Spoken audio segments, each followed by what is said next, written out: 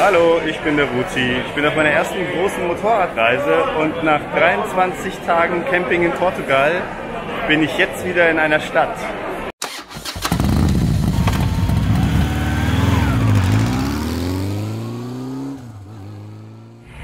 Als ich nach Setúbal gekommen bin, war ich ehrlich gesagt überrascht, weil auf Google vorher war das, äh, sah es nicht so geil aus. So ein bisschen industriemäßig, Blogs und so. Gibt's auch. Aber hier der Innenstadtbereich, hier ist so ein Boulevard und es ist halt direkt am Wasser. Äh, überall sind so Delfinzeichen, weil das das Symbol der Stadt ist.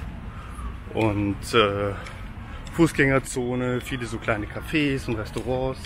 Also ist eigentlich mega schön.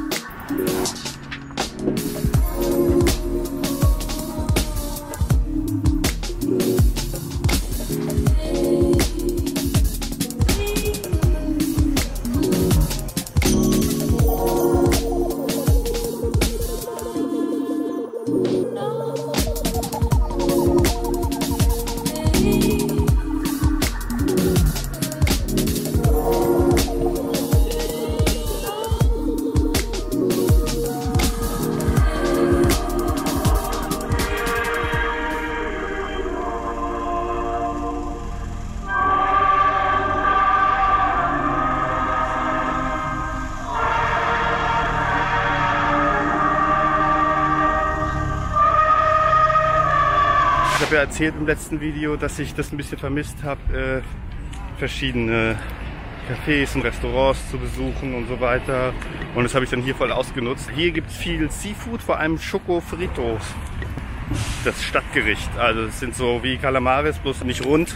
Frittierte Squids halt, ne? Ähm, Tintenfische.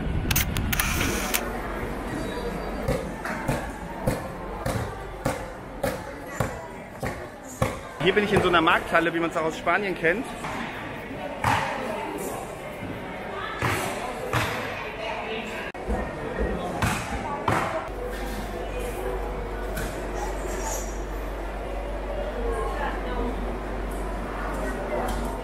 Und hier gibt es eben auch einen Decathlon, da war ich dann natürlich auch gleich äh, nach meiner Camping-Erfahrung. Und habe zum ersten in meinem Leben ähm, Travel-Zeug da gekauft.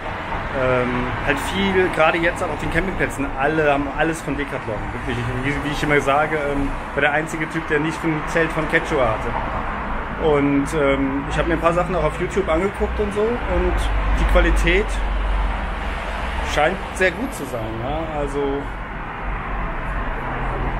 ja, und deswegen probiere ich das jetzt mal aus mit kleinen Sachen.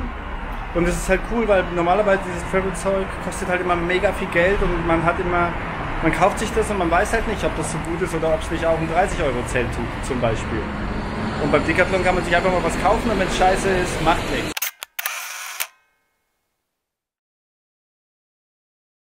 Und ja, jetzt war ich vier Wochen, äh, vier Tage da. Das Hostel war super geil, eigentlich. Ähm, das cool war, ist es halt jetzt neu offen und ist von Brasilianern geführt und es ist alles so ein bisschen wie Homestay.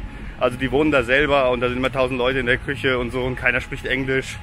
Und äh, das ist ganz cool, weil sonst äh, sprechen die Portugiesen ja sehr, sehr gutes Englisch. Das Problem ist leider, dass es in so einer Hauptstraße liegt und es ist ziemlich warm, du musst halt das Fenster aufmachen. Und ähm, es ist auch so ein allgemeiner Balkon auf der, am Zimmer. Also es ist auch so ein Durchgang quasi. Und irgendwie, also ich fand es tierisch laut. Das hat genervt. Mit Opax ging es dann. Aber ja, das äh, ist quasi die Downside vom Hostel. Hier gibt es direkt irgendwie 10 Minuten von hier mit dem Moped. Äh, gibt es so einen Naturpark, Arabida, glaube ich heißt der, oder Arabida. Und es ist halt auch wirklich mega geile Straßen und äh, voll bewaldete Berge. Sieht halt fast aus wie Dschungel. Und ähm, dann auf der linken Seite hast du halt direkt die Küste, Traumstrände mit so kleinen ähm, Sandbuchten, die aus dem Wasser herausragen, türkisblaues Wasser. Also es hat mich tatsächlich ein bisschen an Südostasien erinnert. Und auch heute, wenn ich jetzt weiterfahre in den Norden, äh, mache ich noch ein paar Stops in dem Nat Naturpark und schaue mir noch ein bisschen was an, weil es echt cool ist und es macht auch Spaß, da Moped zu fahren. So, ich bin jetzt in diesen Naturpark Arabida reingefahren. Äh, mit dem Motorrad darf man da reinfahren und man kann hier so am Rand parken. Es dürfen manche Autos auch irgendwie reinfahren, aber die meisten Autos werden abgeblockt. Normalerweise musst du vorne parken und einen Bus nehmen. Hier muss man die Klippe runterlaufen, um zum Strand zu kommen.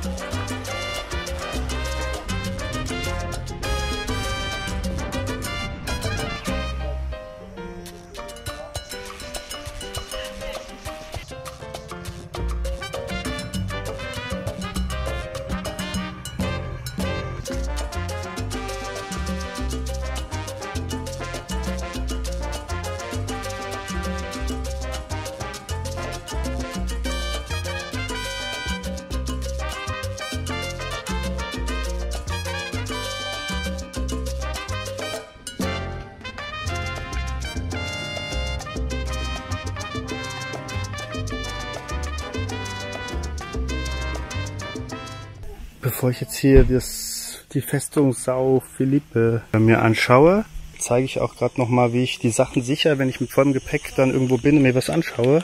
Äh, einige hatten danach gefragt. Und zwar ähm, habe ich, muss man die Lacke wegmachen, ja mein Kabel, mein berühmtes Kabelschloss, das ich schon so oft gezeigt habe. Da mache ich den Helm mit fest. Kann man das sehen? Ja, also ziehe das da durch und mache das fest. Die Handschuhe mache ich immer einfach da rein. Klar, die kann jemand rausnehmen, aber gut. Und dann die Jacke. Da habe ich hier von meinem Rucksack so ein Stahlseil. Ziehe ich durch den Ärmel durch. Und ähm, mache die hier. Da ist so eine Schlosssicherung. Könnte man natürlich auch im Rahmen festmachen oder so. Ähm, macht es da fest. Die Sache mit dem Drahtseil durch den Ärmel von der Jacke ist äh, eine Idee von jemandem, der auch das Video von Gibraltar kommentiert hat. Da war es ja so, dass ich irgendwie hochgefahren bin und dann hat er mich da parken lassen, also der Wächter. Und ähm, ich habe dann aber nicht gewusst, wie ich meine Jacke abschließen soll oder wollte sie nicht auf dem Motorrad liegen lassen dann da stundenlang und habe sie dann angehalten und ich bin halt schier äh, umgekommen äh, vor Hitze. Und dann hat jemand geschrieben, ja, ein dünnes Stahlseil durch den Ärmel ziehen, ist eine gute Idee. Und das Ding war halt, ich habe so ein Stahlseil dabei, halt, weil das in meinem Packsafe-Rucksack eben dabei ist. Wäre aber nicht darauf gekommen. Dann lege ich das so drüber, dass man es nicht alles sofort erkennen kann. Taschen sind ja abschließbar. Kennt man ja diese von meinen Lone Rider Taschen. Und so ist es dann relativ gut gesichert, würde ich sagen.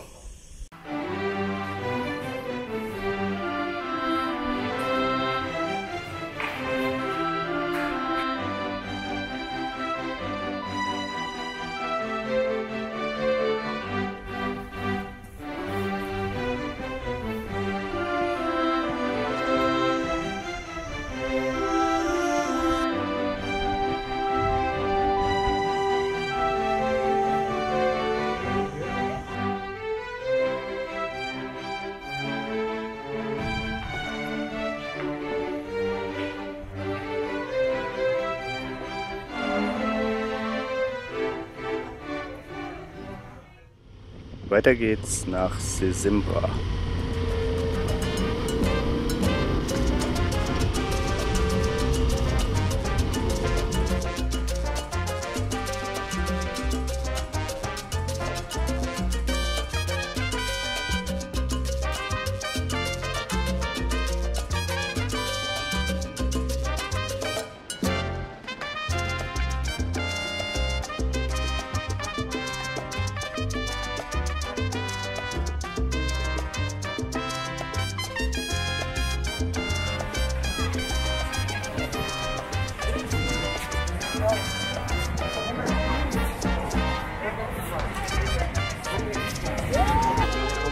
Hier ich jetzt mal an der Snackbar.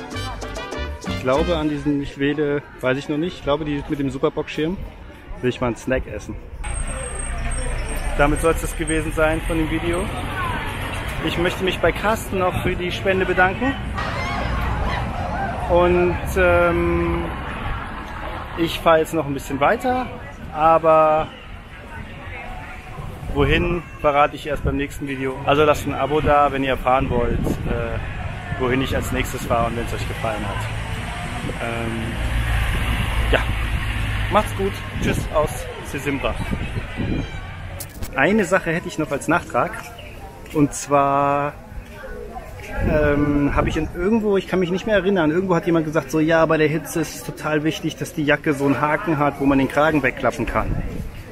Und äh, meine Jacke hat hier so einen Haken, wo man den Kragen wegklappen kann. Ich weiß nicht, ob man das hier sehen kann. Habe ich aber noch nie benutzt gehabt. Und jetzt habe ich benutze ich das zum ersten Mal und ja, ist ziemlich geil. Ist luftig und so, weil sonst macht er immer zu. Oder äh, ja, ähm, ist cool.